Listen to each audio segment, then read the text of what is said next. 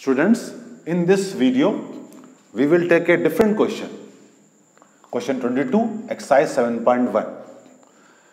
Given if derivative of fx is equal to 4x cube minus 3 upon x to the power 4 and a condition is also given that f2 is equal to 0 then find fx. As you know integration is the reverse process of differentiation. So we integrate both sides on integration. Both sides.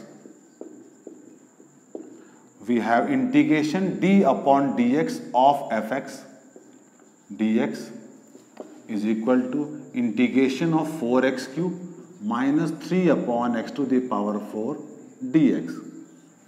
Now, it is differentiation of this and again integration, both will cancel out. We get only fx. Now, in right side, 4 is constant as you can see. We have x cube dx minus 3 is constant. 1 upon means you can write x to the power minus 4 dx because we have to use power formula. Now in left hand side fx is there 4 x to the power 3 means just add 1 to the power and divide by the new power minus 3 add 1 to the power and divide by the new power and a constant of integration. C is must. Now fx is equal to you can cancel 4 x to the power 4 3 is cancelled minus minus plus and you can write 1 upon x cube plus c. So function fx is equal to x to the power 4 plus 1 upon x cube plus c.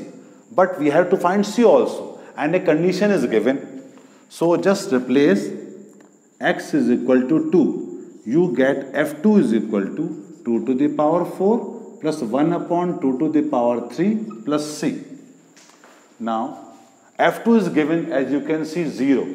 So we have 0 is equal to 2 to the power 4 means 16 plus 1 upon 8 plus c and you can take LCM. This is 128 plus 1 plus c.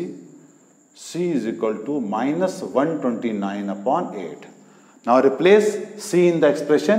You get fx is equal to x to the power 4 plus 1 upon x cube minus 129 upon 8. So practice this. Thank you.